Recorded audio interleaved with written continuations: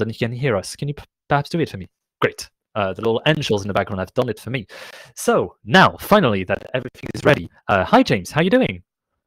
Good morning. Hello. Uh, well, thank you for your talk, and sorry for the little hiccup at the middle. We had to uh, uh, pull out a fire with the audio going out in the middle, and sorry about this. Um, it's no trouble. So, James, um, you've obviously told us about your very fancy setup with the green screen, and I'm sad to see that you haven't put out the green screen for your BBB session right now. Do you have it in the background just for you? right. Okay. It wasn't that far. Great. Nope. Uh, uh, so I'm just going to ask. So this is the first live uh, Q and A that we have for the session. So things might be coming into place. So pardon us if we take a little bit of time to put the uh, questions on the screen and all of this. Uh, what I'm going to do, I'm just going to load up the pad. I would invite uh, James to uh, also open the pad on his hand. Sorry, I've got people talking in my ears, and it's been a while since I've last had this. And okay, so opening the talks right now. Opening the pad if I can find it. Open as the pad. Okay. So uh, have you got the pad open on your end, James? So I can read the I question. So, okay, great. Opening it on my end as well. Uh, what I'm going to do, folks, I see some of you have joined us on, uh, if I show you, some of the people have joined us in the BBB room. Uh, you can join us as well. All the links are on the talk page or on IRC. You can find it very easily. What I'm going to start uh, doing is first taking questions in the other pad because it's a little faster to ask questions like this. And then, as soon as we've finished, feel free to unmute yourself and ask your questions. All right, so I've got some reactions about OBS being cool, and yes, uh, both James and I will be able to tell you that it's very cool. We do very fancy stuff, like uh, when I need to talk to production in the background, and all the stuff, obviously, that James has been able to show you with a green screen. Um, so I don't see a whole lot of questions so far. I see a lot of reactions. Uh, on publishing lectures book, kind of a classic example is John Kitchin's, obviously. Uh, pedagogy first developments.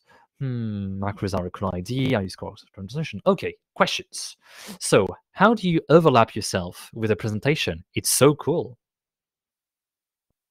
It's quite simple. Um, uh, OBS uh, provides filters um, for every, you can have a separate filter for each video feed. And one of the filters that's available is chroma key. You just choose a color to make transparent and uh, just make sure that uh, the webcam is at the top of the composition. And uh, the thing that surprised me the most was how quickly um, my brain was able to mirror everything and control my body from a separate point of view, uh, like the way uh, weather broadcasts are done. Uh, it it took seconds to be able to do that. Uh, well, and now I have years of practice because that setup that you saw that I used to record this video, um, I used for years uh, during the pandemic for four or five semesters to um, because my my courses are all have two, three, four hundred students, except for the English class, which has you know thirty students. And so during the pandemic, and even after uh, lockdowns were no longer mandated, I taught online just because I didn't want to have so many students in the room at the same time. So I've, yeah, I'm uh, it. I have a lot of practice doing that. But it pays off because it looks so natural. You know, it feels like it's the same thing with weathercasters. You know, it, it sounds very, it looks very easy to do, but it also takes quite a bit of practice. Uh, one of the things that you also need to remember if you're using a chroma key that James has explained is that you need to have very good lighting, basically for the color to pop out in the background and for your body to be easily highlightable. Okay, uh, were you finished with this question? Yeah, let's uh, let's take another one. Sure. So how do you deal with video in Beamer? I found it so hard to do that. PPT on the other end is easier to achieve. Yeah, so um, uh, remember that the slides um, get produced um, from org mode as um, as PDFs.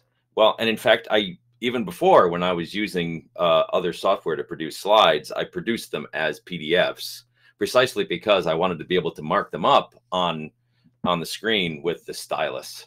Um, and so uh, I don't do video in the slides. I use OBS to switch from static slides that I mark up with the stylus over to some kind of uh, video viewer um, and then back. And again, that's how I can use Firefox. I use OBS to switch between Firefox and video and uh, the Xournal plus plus program where I can mark up slides. So th those functionalities are are that's why I use different software and uh, pull it all together with OBS so that I can have um, lots of functional flexibility. Great. Uh, do you ever use things like org present and stay for a PowerPoint slide? I'm, I'm, not sure exactly how to read this particular question, but at least we can focus on org present. Are you familiar with what it is?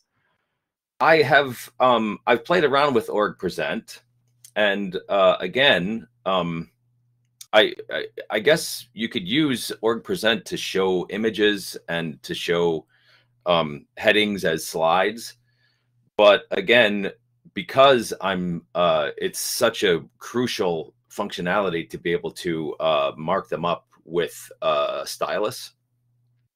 Um, I didn't really show this very much, but I also highlight things the way I would highlight uh, using a laser pointer on the screen. And uh, again, um, I I don't I don't see Emacs being able to do that for another couple of uh, generations. so um, really, the only thing I use Emacs for during presentations is to uh, narrow um, narrow headings that we can focus on particular text excerpts. Right. Yeah. Uh, a lot of our uh, presentation at EmacsConf are usually, especially the org mode ones, are done with org present, and and sorry, I had some, again someone talking to me in ear. I'll get you know the problem with EmacsConf is that every year you know you have to relearn a lot of skills, and by the time we finished by Sunday evening, we are masters of it, and then we forget everything by the time the next year comes around. Uh, what I was going to say is that org present is often used by people uh, inside Emacs conf presenting about org mode. But yeah, whenever you need to do something a little more visual, it gets a little more complicated. Some people have tried to do fancy stuff with SVG, which is probably the path forward for this type of stuff. But yeah, if you need to draw, if you need to highlight, it is pretty complicated. Perhaps something that you might want to be interested, James, in checking out is uh, PDF tools, which is a way to open up a PDF uh, in uh, in uh, in Emacs, and this allows you to have basic PDF annotations, like putting a little bit of a, an icon on it. Um, perhaps you've already played with it. Um, I, I, have used that. I uh, PDF Tools is uh, an incredible package, but um, un until it allows me to uh, make a mark on the screen that shows up uh, in a video compositor, it's um, it's not going to replace Xournal. Definitely. All right, moving on to the next question. Is the triple accolade syntax an org mode core feature that I missed so far, or did you program that? And thank you for the great talk. Uh, thank you very much. Um, no, it's just part of um, the all of the um, export backends. Actually, I think the way it works is it precedes all of the export backends. When you export, um, the first thing that happens is uh, expansion of macros, and that's that's a that's a built-in org mode feature. It's definitely beyond my Emacs Lisp powers to be able to have made something that powerful. For now, for now.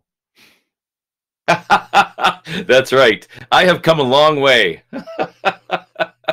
you know, we always, you know, most of the people who show up to Emacs, especially talking about stuff that has to do with presentations or what they do in academia, you know, they always say, oh, but, you know, I couldn't have done all this, you know, it's just uh, far away. And then they come back one year or two years later, and then, oh, I've made my entire library for presentation and stuff like this. So uh, be hopeful about what the future holds for you in terms of coming up with crazy new features for the entire ecosystem. Well, let me tell you, um, it, since the pandemic, uh, I have written, uh, I wrote my first major mode. It's trivial, but it provides functionality that uh, is very useful to me.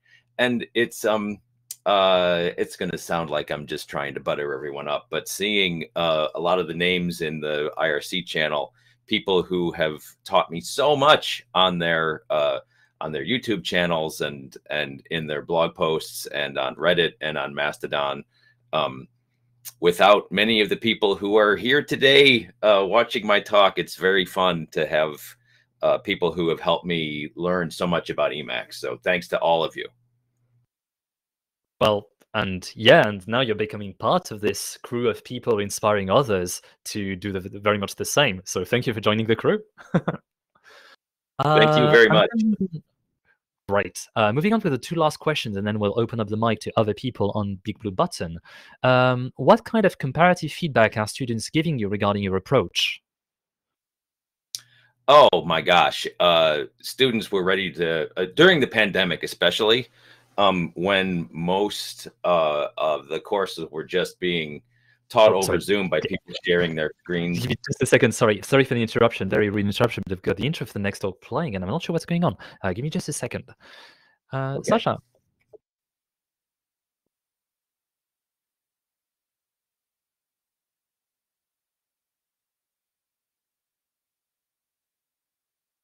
Uh, okay. So,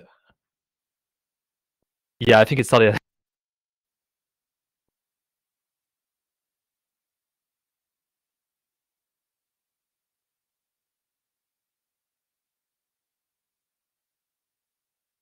Sure. One. Uh, I got the times wrong apparently because of the little delay we had uh, getting the uh, audio fixed up. Uh, the good news is that we're still recording the talk right now, and we still have James around. Uh, obviously, James, you're no longer on uh, being broadcast on general, but uh, if you want to keep answering questions, or if you want to, anyone in the room right now wants to ask you questions, feel free to do so. Uh, I'm going to need to hop off because I need to get other things ready for the next talks, sadly. But it's, James, it's no trouble. Thank you so much. Right. And so, sorry, I'm a little tense, obviously, because I was not expecting this to happen. And that led to a very abrupt end to this discussion. But people afterwards on emacs.org slash 2023 slash talks will be able to find uh, all the content here. So I'll have to leave now. Uh, thank you so much, James, for doing the difficult task of opening up EmacsConf. And I'll probably see you later. Thank you, Leo. Bye-bye.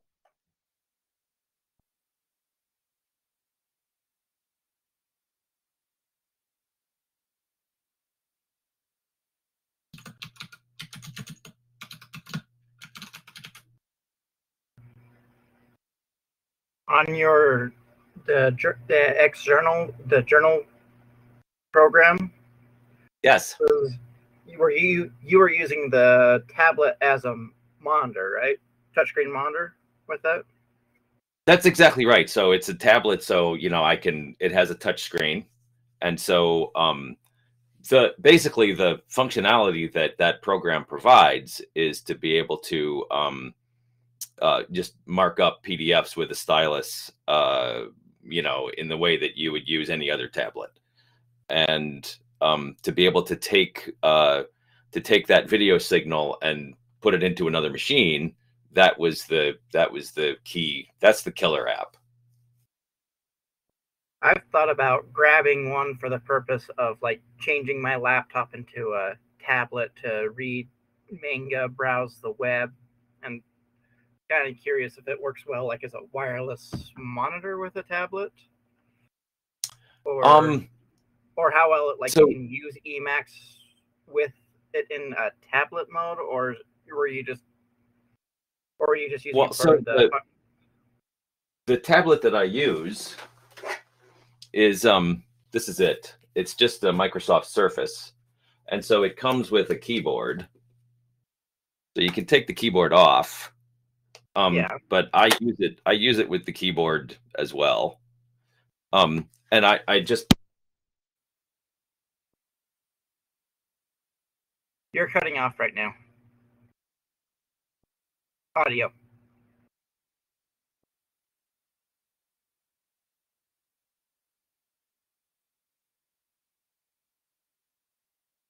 Your audio is cutting off right now.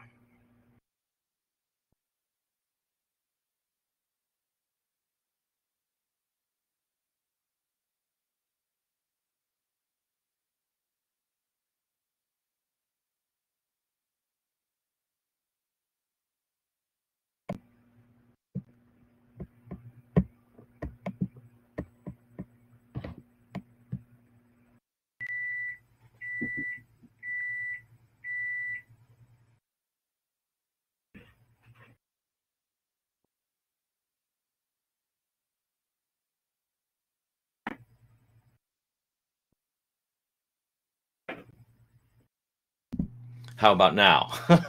now I can hear you. Yeah, I bumped the mute button on the mic.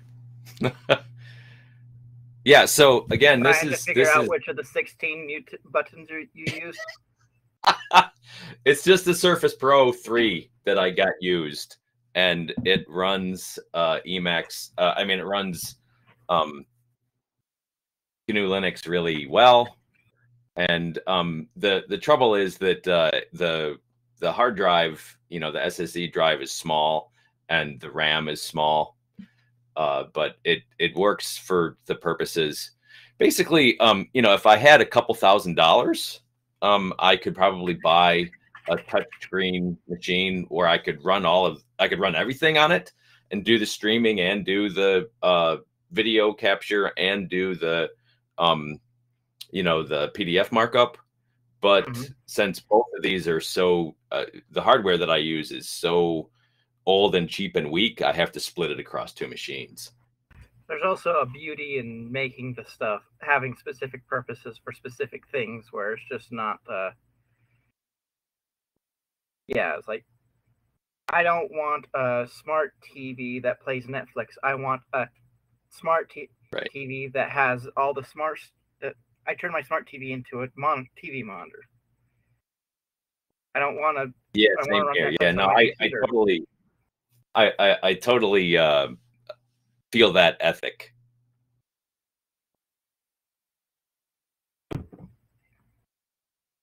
Oh, if on the some other things like if you want you to do highlighting in an org mode document, you can use org web tools. I wrote this in the notes, but you can use org web tools to download a web page.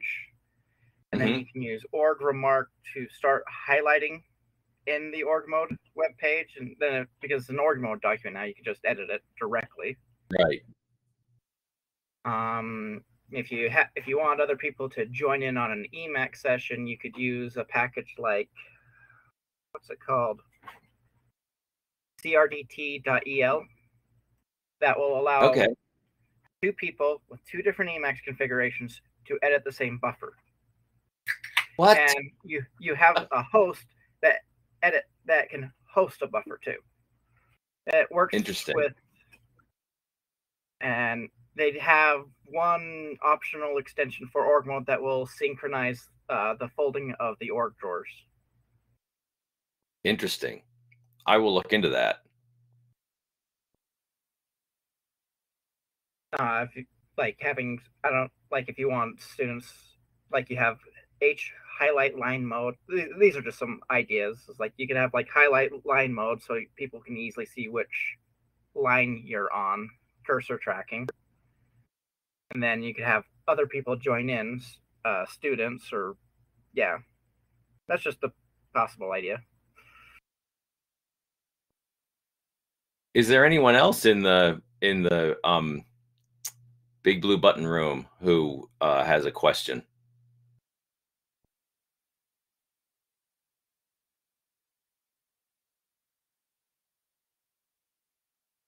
All right, I'm going to go over to the pad and see if there are any pending questions I can address. Thanks, Plasma Strike. Yep.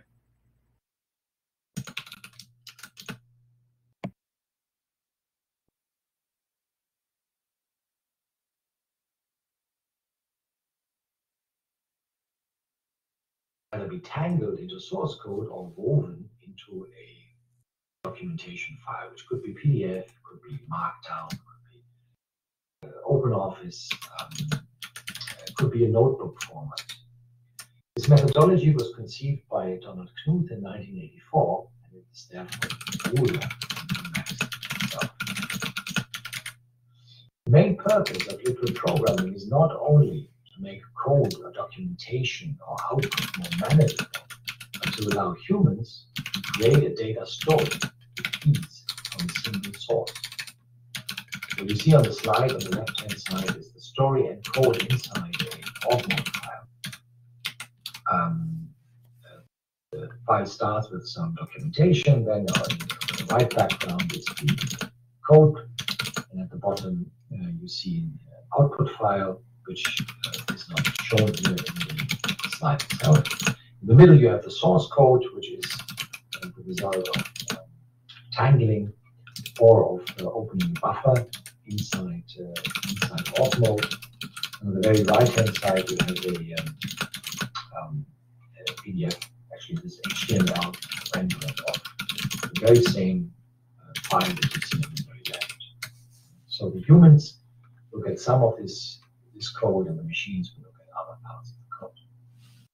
I actually did all my programming in the literate even in the early 1990s, not using org mode, which didn't exist yet, but using Norman Ramsey's NoWeb preprocessor. I still use it inside org mode today. This preprocessor, NoWeb, allows you to tangle code from within an org mode file as a self-standing file, much like org mode's edit functions, which export code blocks into buffers in whatever language the code block is. Data science, these interactive notebooks, um, in one of the interpreted languages like Julia, Python, or R dominate. The basic technology, basis technology is that of Jupyter notebooks, which take their name from Julia, Python, and R. And these notebooks use a spruced up shell, for example, IPython from Python, with an option to add SQL cells. Org mode inside Emacs has a large number of advantages. Some of them are listed here over these notebooks. Two of these stand out particularly. Different languages can be mixed, as uh, shown in the image, while in Jupyter notebooks, a notebook is limited to running a kernel in one language only. The content of the notebook, its document, code, or output part can be exported in a variety You of are currently the only person in this conference. to share with others and to use one's work in different reporting